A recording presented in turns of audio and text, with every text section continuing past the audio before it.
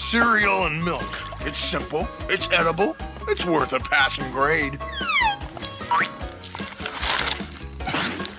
Yeah, you'd have to be a real jerk to mess it up. Yum. Now for the taste test. Eesh.